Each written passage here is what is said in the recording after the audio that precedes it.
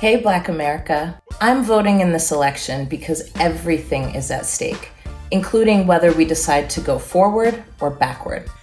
Our history is really unique in that every stage of our lives since being brought here in bondage, we fought to matter, to be counted as human, to be counted as deserving of rights and protections, and to be counted as citizens. We have an opportunity come November to chart a better course for ourselves by electing officials, not just within the White House, but on a local level that directly impact our day to day lives. So when we vote, it's more than just picking a candidate, it's an affirmation that we will be counted. We already know that we have a president that wants to keep us away from the polls. So show him what you've got and show up in force. But we at the NAACP are fighting even filing a lawsuit against the Postmaster General to ensure that your right to a fair election is being recognized in this moment.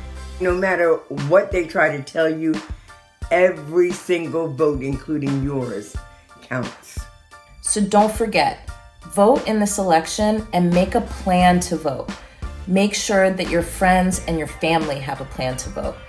This year, there's another really important way to be counted the census. You've got to take it before September 30th, and that makes sure that we're going to get all the needed resources for our communities to rebuild our infrastructure and to make sure that we live full and dignified lives. Standing up for our rights comes in many ways, and in this year, voting and responding to the census are both included. This is our opportunity to lean into our own collective power and ensure that our community is represented. This is our voice. This is our movement.